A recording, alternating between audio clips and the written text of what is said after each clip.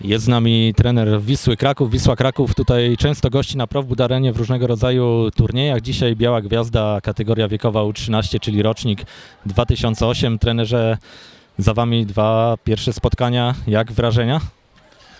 Pozytywnie myślę, pozytywnie. Dwa wartościowe mecze i, i e, myślę, że dobra lekcja dla chłopaków e, i, i cenne doświadczenia zebrane.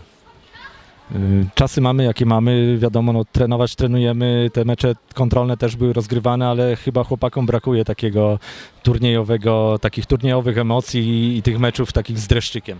Właśnie rozmawialiśmy z trenerami, że e, potrzebne są takie e, turnieje, żeby, żeby chłopcy też oswajali się z tą presją, presją troszkę wyniku.